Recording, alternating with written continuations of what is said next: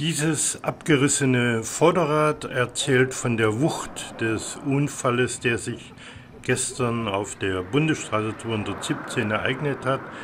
Wie die Weserbergland-Nachrichten bereits gemeldet hatten, war der 21 Jahre alte Toyota Sportwagenfahrer zunächst nach rechts gegen die Leitplanke geraten und dann nach links quer über die Fahrbahn geschleudert worden, wo er wiederum gegen die Mittelplanke geknallt war.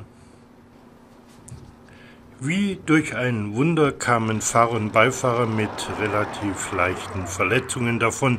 Infolge der Aufräumungsarbeiten und der damit verbundenen Vollsperrung kam es zu einem kilometerlangen Rückstau auf der Bundesstraße 217.